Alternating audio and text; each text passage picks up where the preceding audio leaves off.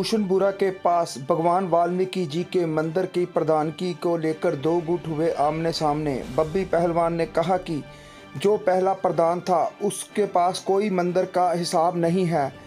पैसे विकास कार्यों के लिए नहीं लगाए जा रहे, सही ढंग से पैसे नहीं खर्चे जा रहे। जो मंदिर का किराया आता है, वो पैसे पता नहीं कहाँ जा रहे हैं।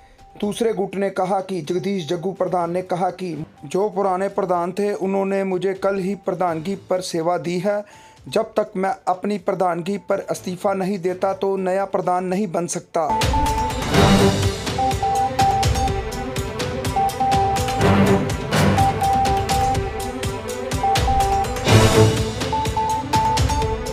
ਮਾਮਲਾ ਜਿਹੜਾ ਸੀ ਪ੍ਰਧਾਨ ਜੈ ਵਾਲਮੀਕੀ ਹਰ ਹਰ ਵਾਲਮੀਕੀ ਅੱਜ ਦਾ ਜਿਹੜਾ ਮਸਲਾ ਉਹ ਮੰਦਰ ਦੇ ਸੰਬੰਧ ਚ ਹੈ ਅੱਜ ਤੋਂ ਮਿਤੀ 10/5/16 ਨੂੰ ਮੰਦਰ ਦਾ ਨੌਜਵਾਨ ਸਭਾ ਬਣਾ ਕੇ ਇੱਕ ਪ੍ਰਧਾਨ ਬਣਾਇਆ ਸੀ, ਰਮੇਸ਼ ਕੁਮਾਰ ਮੇਸ਼ਾ। ਉਹਦੇ ਨਾਲ 11 ਬੰਦਿਆਂ ਦੀ ਇੱਕ ਟੀਮ ਬਣਾਈ ਸੀ ਤੇ ਸੋਚਿਆ ਸੀ ਕਿ ਨੌਜਵਾਨ ਇਲਾਕੇ ਦੇ ਬੰਦੇ ਅੱਗੇ ਆਉਣ ਤੇ ਮੰਦਰ ਦੀ ਦੇਖ ਰੇਖ ਕਰਨ ਤੇ ਮੰਦਰ ਨੂੰ ਹੋਰ ਉਚਾਈਆਂ ਲੈ ਕੇ ਜਾਣ।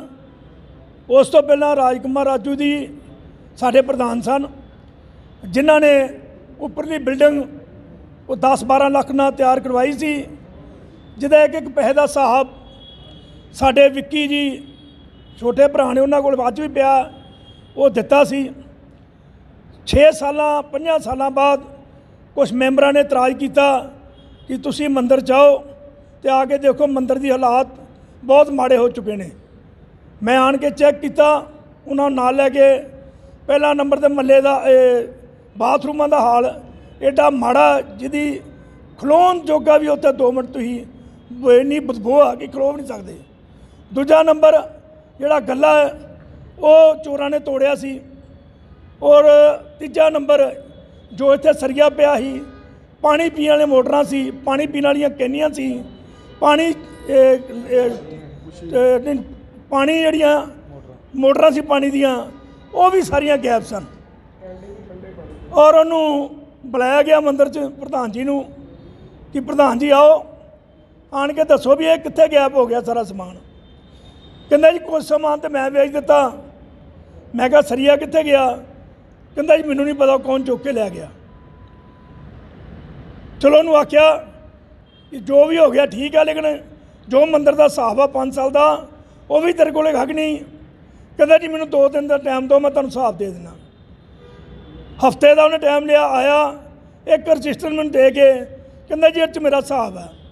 ਸਾਰਾ ਮਹੱਲਾ ਇਕੱਠਾ ਕੀਤਾ ਗਿਆ, ਪੁਰਾਣੇ ਮੈਂਬਰ ਸਾਹਿਬ ਇਕੱਠੇ ਕੀਤੇ ਗਏ, ਔਰ ਉਹਨਾਂ ਨੇ ਜਦੋਂ ਹਿਸਾਬ ਚੈੱਕ ਕੀਤਾ, ਤਾਂ ਕਹਿੰਦਾ ਜੀ, ਮੇਰੇ ਕੋਲ ਗਲਤੀ ਹੋ ਗਈ ਆ, ਮੈਨੂੰ ਇੱਕ ਹਫ਼ਤੇ ਦਾ ਹੋਰ ਟਾਈਮ ਦਿੱਤਾ ਜਾਵੇ। ਸ਼ਨੀਵਾਰ ਦਾ ਦਿਨ ਸੀ 5 ਵਜੇ ਦਾ ਕਿ ਮੈਂ ਹਿਸਾਬ ਦੇਵਾਂਗਾ ਜੀ ਆਣ ਕੇ। ਉਹ ਨਾ ਤੇ ਮੰਦਰ ਚ ਆਇਆ, ਨਾ ਉਹਦੇ ਨਾਲ ਜਿਹੜਾ ਕੋਈ ਮੈਂਬਰ ਸੀ, ਉਹ ਆਇਆ। ਜਿਹੜੇ ਬਾਕੀ ਮੈਂਬਰ ਸਨ, ਉਹ ਸਾਰੇ ਉੱਥੇ ਹਾਜ਼ਰ ਸੀ ਮੰਦਰ 'ਚ। ਅਸੀਂ 7 ਵਜੇ ਤੱਕ ਡਿੱਕਿਆ। 7 ਵਜੇ ਫੈਸਲਾ ਕੀਤਾ ਕਿ ਮੰਦਰ ਦਾ ਜਿਹੜਾ ਕੋਈ ਬਾਕੀ ਵੀ ਸਮਾਨ ਹੈਗਾ, ਉਹ ਚੋਰੀ ਨਾ ਹੋ ਜੇ ਇਸ ਕਰਕੇ ਅਸੀਂ ਮੌਕੇ ਦੇ ਉੱਤੇ ਸ਼ੋਕ ਕੁਮਾਰ ਨੂੰ ਪ੍ਰਧਾਨ ਬਣਾਇਆ ਤੇ ਉਹਦੇ ਨਾਲ ਪੰਜ ਬੰਦਿਆਂ ਦੀ ਕਾਰਿਆਕਰਨੀ ਬਣਾਈ ਔਰ ਇਹਨਾਂ ਮੈਂਬਰ ਨਿਯੁਕਤ ਕੀਤੇ। ਕੱਲ ਉਹਨਾਂ ਨੇ ਵੀ ਪ੍ਰਧਾਨ ਲਾਤਾ ਜੀ ਜੱਗੂ ਨੂੰ। ਉਹ ਉਹਨਾਂ ਨੇ ਇਸ ਕਰਕੇ ਪ੍ਰਧਾਨ ਬਣਾਇਆ ਕਿ ਜਿਹੜੀ ਉਹਨਾਂ ਨੇ ਬੇਈਮਾਨੀ ਕੀਤੀ ਆ, ਜਿਹੜਾ ਮੰਦਰ 'ਚ ਘਪਲਾ ਕੀਤਾ, ਉਹਦੇ ਉੱਤੇ ਪਰਦਾ ਪਾਉਣ ਵਾਸਤੇ। ਕਦੀ ਇਹ ਵੀ ਹੁੰਦਾ ਕਿ ਜਿਹੜਾ ਲੱਥਿਆ ਪ੍ਰਧਾਨ ਆ, ਜਿਹਦੇ ਕਰਪਸ਼ਨ ਦੇ ਇਲਜ਼ਾਮ ਹੋਣ, ਉਹੀ ਉੱਠ ਕੇ ਪ੍ਰਧਾਨ ਬਣਾ ਦੇ ਮੰਦਰ ਦਾ। ਇਹ ਸਿਰਫ ਇੱਕ ਜਾਲਸਾਜੀ ਆ, ਮਹੱਲੇ 'ਚ ਗੁੰਮਰਾਹ ਕਰਨ ਦੀ, ਲੜਾਈਆਂ ਕਰਾਉਣ ਦੀ। ਜੋ ਕਿ ਅਸੀਂ ਕਿਸੇ ਕਿਸਮ ਦੀ ਲੜਾਈ ਨਹੀਂ ਹੋਣ ਦੇਣੀ। ਸਾਡੇ ਸਾਰੇ ਬੱਚੇ ਆ, ਅਸੀਂ ਇਹ ਚਾਹੁੰਦੇ ਆ ਕਿ ਮੰਦਰ ਦਾ ਜਿਹੜਾ ਇੱਕ ਇੱਕ ਪਾਈ ਆ, ਉਹ ਮੰਦਰ ਦੇ ਹਿਸਾਬ ਦਿੱਤਾ ਜਾਵੇ। ਤਾਂ ਜੋ ਮੰਦਰ ਦੇ ਜਿਹੜੀ ਚੀਜ਼ ਬਣਨ ਵਾਲੀ ਅਧੂਰੀ ਆ, ਉਹਨੂੰ ਅਸੀਂ ਸਾਰਿਆਂ ਦੇ ਸੰਯੋਗ ਨਾਲ ਬਣਾ ਕੇ ਤੇ ਤਿਆਰ ਕਰ ਸਕੀਏ। ਬਾਰ-ਬਾਰ ਇਹ ਇਲਾਕੇ 'ਚ ਇਹ ਗੱਲ ਫਲਾਉਂਦੇ ਨੇ ਕਿ ਜੀ ਮੰਦਰ ਦੇ ਪ੍ਰਧਾਨ ਉਹ ਹੀ ਉਹਨੇ ਮੰਦਰ ਬਣਾਇਆ ਸੀ।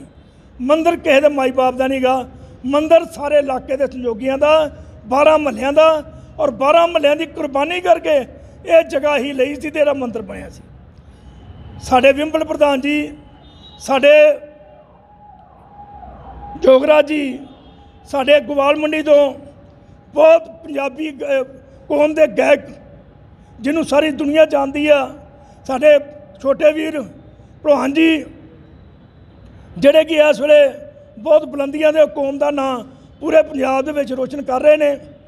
ਕਿਸੇ ਵੀ ਭਾਈਚਾਰੇ ਨੂੰ ਅਗਰ ਦਿਲੋਂ ਮੰਨੋ ਤੇ ਉਹਦੇ ਤਨੋਂ ਮਨੋਂ ਨਾਲ ਲੱਗੋ ਤੇ ਮੇਰਾ ਖਿਆਲ ਹੈ ਕਿ ਭਗਵਾਨ ਉਹਨੂੰ ਚੜ੍ਹਦੀ ਕਲਾ ਹੀ ਕਰਦਾ।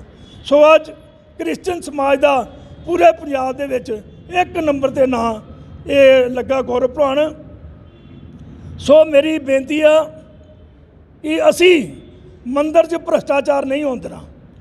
ਤੇ ਮੈਂ ਸਾਰੇ ਕਿਰਾਏਦਾਰ ਨੂੰ ਬੁਲਾਇਆ। ਅਸੀਂ 12 ਮਹੱਲਿਆਂ ਦੀ ਮੀਟਿੰਗ ਇੱਥੇ ਬੁਲਾਉਣੀ ਆ।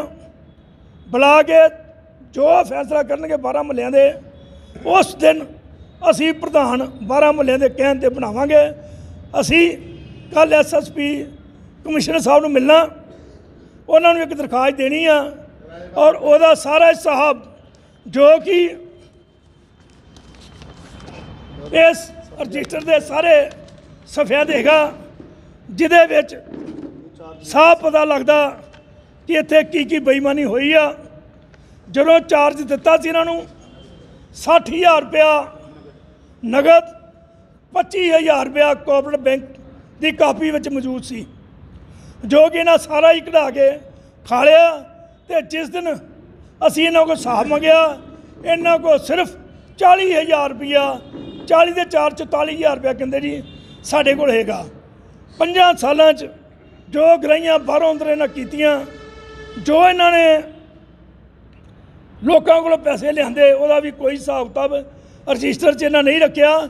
ਜਿਹੜੀਆਂ ਗਰਾਈਆਂ ਸਾਡੇ ਮੰਦਰ ਦੇ ਜਾਂ ਸਾਡੇ ਮਹੱਲੇ ਦੀਆਂ ਸਿਰਫ ਉਹ ਹੀ ਸ਼ੋਅ ਕੀਤੀਆਂ। ਸੋ ਮੈਂ ਬੇਨਤੀ ਕਰਦਾ ਪੂਰੇ ਸਮਾਜ ਅੱਗੇ ਕਿ ਭਗਵਾਨ ਵਾਲਮੀਕੀ ਦਾ ਜਿਹੜਾ ਮੰਦਿਰ ਹੈ, ਇਹ ਸਾਰੇ ਸੰਯੋਗ ਨਾਲ ਬਣਿਆ ਔਰ ਸਾਰੇ ਸੰਜੋਗ ਨਾਲ ਲੱਗੇ ਵੀ ਇਹ ਬੰਦਾ ਰਹੇਗਾ, ਸੋ ਸੰਯੋਗ ਤੋਂ ਬਿਨਾ ਇਕੱਲਾ ਬੰਦਾ ਕੁਛ ਨਹੀਂ ਕਰ ਸਕਦਾ। ਮੈਂ ਨਾ ਆਪ ਬੇਈਮਾਨੀ ਕਰਾਂਗਾ, ਨਾ ਹੀ ਕਿਸੇ ਨੂੰ ਕਰਨ ਦੇਵਾਂਗਾ। ਇੱਕ ਪਰਨ ਲਿਆ ਅੱਜ ਕਿ ਜੋ ਵੀ ਮੰਦਰ ਦਾ ਪ੍ਰਧਾਨ ਬਣੇਗਾ, ਉਹਨੂੰ ਇੱਕ ਸਾਲ ਮੌਕਾ ਦਿੱਤਾ ਜਾਏਗਾ। ਸਾਲ ਦੇ ਬਾਅਦ ਉਸ ਕੋਲੋਂ ਹਿਸਾਬ ਲੈ ਕੇ ਜੇ ਉਹ ਚੰਗੀ ਕਾਰ, ਕਾਰਗੁਜ਼ਾਰੀ ਕਰੇਗਾ, ਤੇ ਅਸੀਂ ਉਹਨੂੰ ਦੁਬਾਰਾ ਮੌਕਾ ਦੇਵਾਂਗੇ। ਨਹੀਂ ਤੇ ਸਾਲ ਤੱਕ ਉਹਦੇ ਕੰਮ ਨੂੰ ਦੇਖਿਆ ਜਾਏਗਾ, ਜੇ ਉਹ ਸਮਾਜ 'ਚ ਮੰਦਰ ਦਾ ਨਾਂ ਰੋਸ਼ਨ ਕਰੇਗਾ, ਤੇ ਸਾਡੇ ਸਾਰੀ ਬਰਾਦਰੀ ਔਰ ਮੇਰੇ ਖਾਸ ਕਰਕੇ ਮੇਰੇ ਮੈਂਬਰ ਔਰ ਮੇਰੇ ਮਹੱਲੇਦਾਰ ਉਹਦੇ ਨਾਲ ਡਟ ਕੇ ਖੜੇ ਹੋਣਗੇ। ਸੋ ਮੇਰੇ ਨਾਲ ਗੁਰੂ ਭਲਾਨ ਤੇ ਮੇਰੇ ਬਹੁਤ ਸਤਿਕਾਰਯੋਗ ਵੱਡੇ ਛੋਟੇ ਭਰਾ ਜਿਹੜੇ ਤੁਹਾਨੂੰ ਵਿਸਤਾਰ ਨਾਲ ਦੱਸਣਗੇ, ਕਿਉਂਕਿ ਇਹਨਾਂ ਦੀ ਹੀ ਬਦੌਲਤ ਇਹ ਮੰਦਰ ਦੀ ਔਰ ਨੀਂਹ ਪੱਥਰ ਰੱਖਿਆ ਗਿਆ ਸੀ। ਸੋ ਮੈਂ ਬੇਨਤੀ ਕਰਦਾ ਕਿ ਤੁਸੀਂ ਦੋ ਮਿੰਟ ਆਪਣੇ ਵਿਚਾਰ ਦੱਸੋ। ਕਿ ਜੀ, ਮੈਂ ਪਵਨ ਦਰਾਵੜ ਔਰ ਅੱਜ ਅਸੀਂ ਮੁਹੱਲਾ ਭੂਸ਼ਣਪੁਰਾ ਅਜੀਤ ਨਗਰ ਮੰਦਿਰ ਦੇ ਵਿੱਚ ਬੈਠੇ ਹਾਂ। ਸੋ ਜਿੱਥੋਂ ਤੱਕ ਮੈਨੂੰ ਯਾਦ ਹੈ ਕਿ ਇਸ ਮੰਦਿਰ ਦੀ, ਇਸ ਜਗ੍ਹਾ ਦੀ ਲੜਾਈ ਜਦੋਂ ਇਹ ਮੰਦਿਰ ਦੀ ਉਸਾਰੀ ਸ਼ੁਰੂ ਹੋਈ ਸੀ ਔਰ ਬ- ਬਹੁਤ ਵੱਡਾ ਵਿਵਾਦ ਖੜਾ ਹੋਇਆ ਸੀ ਔਰ ਉਦੋਂ ਪੂਰੇ ਵਾਲਮੀਕੀ ਸਮਾਜ, ਅੰਮ੍ਰਿਤਸਰ ਦਾ ਪੂਰਾ ਵਾਲਮੀਕੀ ਸਮਾਜ ਇੱਥੇ ਮੌਜੂਦ ਸੀ। ਸੋ ਅੱਜ ਸਾਡੇ ਸਮੁੰਦਰ ਦੇ ਚੇਅਰਮੈਨ ਉਦੋਂ ਜਦੋਂ ਪੂਰੇ ਸਮਾਜ ਨੇ ਇਹਨਾਂ ਨੂੰ ਚੁਣਿਆ ਸੀ ਬੱਬੀ ਪਹਿਲਵਾਨ ਜੀ। ਸੋ ਕੁਝ ਚੀਜ਼ਾਂ ਦਾ ਪਤਾ ਲੱਗਾ ਹੈ ਬੜੀ ਦੇਰ ਬਾਅਦ ਕਿ ਮੰਦਰ ਦੇ ਦੀ ਜਿਹੜੀ ਇਨਕਮ ਹੈ, ਉਹਦਾ ਜਿਹੜਾ ਸਹੀ ਇਸਤੇਮਾਲ ਨਹੀਂ ਹੋ ਰਿਹਾ। ਉਹ ਮੰਦਰ ਦੀ ਇਨਕਮ ਲੋਕਾਂ ਦੇ ਘਰਾਂ 'ਚ ਜਾਰੀ ਹੈ। ਪ੍ਰਧਾਨ ਜੀ ਦੇ ਦੱਸਿਆ ਅਨੁਸਾਰ ਸਾਨੂੰ ਪਤਾ ਲੱਗਾ ਹੈ। ਸੋ ਅਸੀਂ ਬੇਨਤੀ ਕਰਨਾ ਚਾਹੁੰਦੇ ਆ ਜਿਹੜੇ ਨਵੇਂ ਪ੍ਰਧਾਨ ਬਣੇ ਆ ਜਾਂ ਜਿਹੜੇ ਪੁਰਾਣੇ ਪ੍ਰਧਾਨ ਬਣੇ ਸੀ, ਕਿਉਂਕਿ ਇਹ ਚੀਜ਼ਾਂ ਜਿਹੜੀਆਂ ਮੰਦਰ ਹੋ ਗਏ, ਗੁਰਦੁਆਰੇ ਹੋ ਗਏ, ਮਸਜਿਦਾਂ ਹੋ ਗਈਆਂ, ਇਹ ਜਨਤਾ ਦੀ ਪ੍ਰਾਪਰਟੀ ਹੁੰਦੀ ਹੈ। ਸੋ ਅਸੀਂ ਇਹ ਚਾਹੁੰਦੇ ਹਾਂ ਕਿ ਜੇ ਇਸ ਮੰਦਿਰ ਦੀ ਇਨਕਮ ਹੈ, ਪਹਿਲਾਂ ਤੇ ਵਾਲਮੀਕੀ ਮੰਦਿਰਾਂ ਦੀ ਇਨਕਮ ਹੁੰਦੀ ਨਹੀਂ ਕੋਈ। ਜੇ 25 30 40 ਹਜ਼ਾਰ ਰੁਪਏ ਇੱਥੇ ਇਨਕਮ ਹੈਗੀ ਆ, ਤੇ ਬਕਾਇਦਾ ਅਸੀਂ ਬੇਨਤੀ ਕਰਦੇ ਹਾਂ ਕਿ ਉਹ ਪੈਸਾ ਮੰਦਿਰ ਦੇ ਨਿਰਮਾਣ ਵਾਸਤੇ ਖਰਚ ਹੋਣਾ ਚਾਹੀਦਾ ਹੈ। ਜੇ ਕੋਈ ਯਾਤਰੂ ਇੱਥੇ ਆਂਦਾ ਹੈ, ਕੋਈ ਆਪਣਾ ਭਗਤ ਇੱਥੇ ਕੋਈ ਆਂਦਾ ਹੈ, ਉਹਨੂੰ ਵਧੀਆ ਸੁਵਿਧਾ ਮਿਲਣੀਆਂ ਚਾਹੀਦੀਆਂ ਸੋ ਜਿਹੜਾ ਇੱਥੇ ਦਾ ਰੱਖ ਰਖਾਵ ਆ, ਪ੍ਰਧਾਨ ਜੀ ਨੇ ਦੱਸਿਆ ਕਿ 5 ਸਾਲ ਹੋ ਗਏ ਆ ਉਹ ਬਿਹਤਰ ਨਹੀਂ ਹੈ। ਔਰ ਨਵੇਂ ਪ੍ਰਧਾਨ ਜਿਹੜੇ ਨਿਯੁਕਤ ਕੀਤੇ ਆ, ਅਸ਼ੋਕ ਕੁਮਾਰ ਜੀ, ਉਹਨਾਂ ਦੇ ਨਾਲ ਪੰਜ ਮੈਂਬਰੀ ਕਮੇਟੀ ਲਾਈ ਹੈ। ਸੋ ਅਸੀਂ ਆਸ ਕਰਦੇ ਹਾਂ ਕਿ ਇਹ ਜਿਹੜੀ ਕਮੇਟੀ ਹੈ ਭਲਵਾਨ ਜੀ ਨੇ ਜਾਂ ਪੂਰੇ ਮਹੱਲੇ ਨੇ ਜਾਂ ਪੂਰੇ ਸਮਾਜ ਨੇ, ਪੂਰੀ ਬਰਾਦਰੀ ਨੇ ਜਿਹੜੀ ਇਹ ਕਮੇਟੀ ਤੈਅ ਕੀਤੀ ਹੈ, ਅਸੀਂ ਆਸ ਕਰਦੇ ਹਾਂ ਕਿ ਇਹ ਬਹੁਤ ਵਧੀਆ ਕੰਮ ਕਰਨਗੇ। ਔਰ ਇਹਨਾਂ ਦਾ ਕੰਮ ਦੇਖਦੇ ਹੋਏ ਅਗਰ ਕੰਮ ਵਧੀਆ ਹੋਏਗਾ, ਤੇ ਅੱਗੇ 1 ਸਾਲ ਵਾਸਤੇ ਹੁਣ ਇਹ ਪ- ਇੱਥੇ ਦੇ ਪ੍ਰਧਾਨ ਬਣਨਗੇ। ਜਿਨ੍ਹਾਂ ਦਾ ਕਾਰਗੁਜ਼ਾਰੀ ਵਧੀਆ ਹੋਏਗੀ ਤੇ ਪ੍ਰਧਾਨ ਕਾਇਮ ਰਹਿਣਗੇ। ਨਹੀਂ ਤਾਂ 1 ਸਾਲ ਦਾ ਦੱਸਿਆ ਪ੍ਰਧਾਨ ਜੀ ਨੇ, ਚੇਅਰਮੈਨ ਸਾਹਿਬ ਨੇ, ਬੱਬੀ ਪਹਿਲਵਾਨ ਜੀ ਨੇ, ਕਿ ਇੱਕ ਸਾਲ ਦਾ ਟਾਈਮ ਦਿੱਤਾ ਜਾਏਗਾ ਔਰ ਬਕਾਇਦਾ ਉਹਦਾ ਰਜਿਸਟਰ ਲੱਗੇਗਾ, ਉਹਦਾ ਟਰਸਟ ਬਣੇਗਾ ਔਰ ਹਰ ਸਾਲ ਉਹਦਾ ਜਿਹੜਾ ਲੇਖਾ ਜੋਖਾ ਉਹ ਬਾਈ ਜਿੱਦਾਂ ਟਰਾਂਸਪੇਟ ਸਿਸਟਮ ਹੁੰਦਾ ਹੈ, ਉਹ ਹੋਏਗਾ। ਜੈ ਵਾਲਮੀਕੀ ਜੀ। ਜੀ, ਮੇਰਾ ਨਾਮ ਜਤਿੰਦਰ ਗੌਰਵ ਹੈ। ਅੱਜ ਜੋ ਵਿਸ਼ੇਸ਼ ਮੀਟਿੰਗ ਬੱਬੀ ਪਹਿਲਵਾਨ ਜੀ ਦੇ ਕਹਿਣ ਤੇ ਇੱਥੇ ਬੁਲਾਈ ਗਈ ਆ, ਉਹਦੇ ਵਿੱਚ ਸਾਰੇ ਅਸੀਂ ਇਕੱਤਰ ਹੋਏ ਆ ਔਰ ਜਿਸ ਤਰ੍ਹਾਂ ਪਵਨ ਡਰਾਈਵਰ ਜੀ ਨੇ ਦੱਸਿਆ ਵੀ ਜਦੋਂ ਇਸ ਮੰਦਰ ਦਾ ਨਿਰਮਾਣ ਹੋਣਾ ਸੀ, ਜਦੋਂ ਇੱਥੇ ਸਾਰਾ ਕੰਮ ਚੱਲਣਾ ਸੀ, ਉਸ ਟਾਈਮ ਸਾਰੀ ਬਰਾਦਰੀ, ਸਾਰੇ ਭਾਈਚਾਰੇ ਇੱਥੇ ਇਕੱਠੇ ਹੋਏ ਸੀ ਔਰ ਇਹ ਨਿਰਮਾਣ ਹੋਇਆ ਸੀ। ਔਰ ਜਿਸ ਤਰ੍ਹਾਂ ਕਿ ਆਪਾਂ ਨੂੰ ਸੁਣਨ ਨੂੰ ਵੀ ਮਿਲ ਰਿਹਾ, ਦੇਖਣ ਨੂੰ ਵੀ ਮਿਲ ਰਿਹਾ ਵੀ ਇੱਥੇ ਬਾਹਰ ਦੁਕਾਨਾਂ ਵਾ, ਜਿਹਦਾ ਉਹਦਾ 40 50 ਹਜ਼ਾਰ ਰੁਪਇਆ ਕਿਰਾਇਆ ਆਂਦਾ ਵਾ। ਮੈਂ ਸਾਹਮਣੇ ਰਵਿਦਾਸ ਮਹਾਰਾਜ ਦਾ ਮੰਦਿਰ ਦੇਖਿਆ ਵਾ।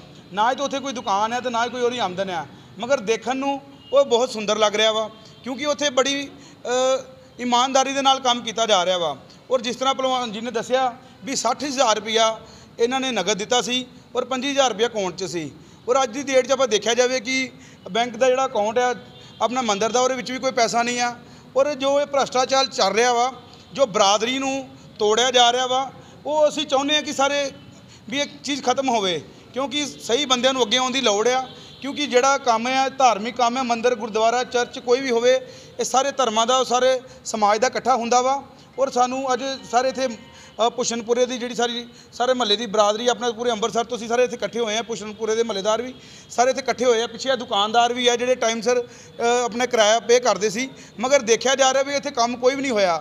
ਜਿੰਨਾ ਕੰਮ ਇਹਨਾਂ ਨੇ ਕਰਵਾਇਆ ਸੀ ਉਹ ਵੀ ਬਿਲਕੁਲ ਖਰਾਬ ਹੋ ਚੁੱਕਾ ਵਾ ਵਾਸ਼ਰੂਮ ਦੇ ਬੂਏ ਨਹੀਂ ਆ ਔਰ ਇੱਥੇ ਮੋਟਰਾਂ ਚੋਰੀ ਹੋ ਗਈਆਂ ਵਾ ਔਰ ਇੱਥੇ ਜੇ ਕੋਈ ਕਿਸੇ ਨੇ ਸੇਵਾ ਕੀਤੀ ਆ ਪਾਣੀ ਵਾਲੇ ਉਹ ਕੈਂਡੀ ਦੀ ਉਹ ਵੀ ਆਪ ਪ੍ਰਧਾਨ ਚੁੱਕ ਕੇ ਵੇਚਦੀ ਆ।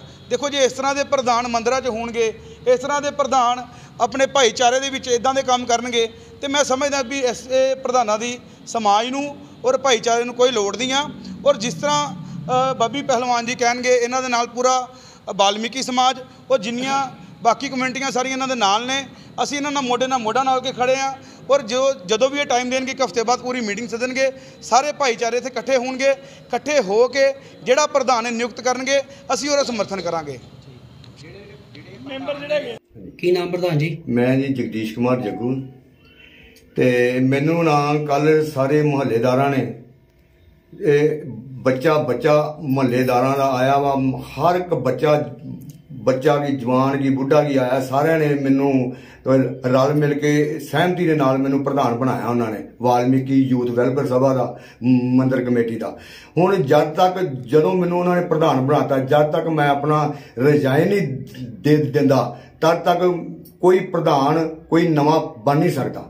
ਜਦ ਤੱਕ ਜਦੋਂ ਮੈਂ ਰਿਜ਼ਾਈਨ ਦਵਾਂਗਾ, ਉਦੋਂ ਪ੍ਰਧਾਨ ਨਵਾਂ ਤੁਸੀਂ ਜਿਹੜਾ ਮਰਜ਼ੀ ਬਣਾ ਸਕਦੇ ਜੇ, ਤਦ ਤੱਕ ਕੋਈ ਪ੍ਰਧਾਨ ਨਹੀਂ ਬਣ ਸਕਦਾ। ਇਹਨਾਂ ਕੁਝ ਕਹਿੰਦਾ ਆ ਇਹ ਜੈ ਵਾਲਮੀਕੀ ਜੀ, ਅਸੀਂ ਕੱਲ ਸਾਰੇ ਮੁਹੱਲੇਦਾਰ ਇਕੱਠੇ ਹੋ ਕੇ ਅਸੀਂ ਪ੍ਰੈਸ ਕਾਨਫਰੰਸ ਕਰਾਂਗੇ। ਜੋ ਵੀ ਉਹਦੇ ਵਿੱਚ ਕੋਈ ਫੈਸਲਾ ਹੋਏਗਾ ਉਹ ਤੁਹਾਡੇ ਸਾਹਮਣੇ ਆਇਆ ਜਾਏਗਾ। ਬਸ ਇਹਨਾਂ ਕੁਝ ਕਹਿੰਦਾ ਹੈ ਜੈ ਵਾਲਮੀਕੀ।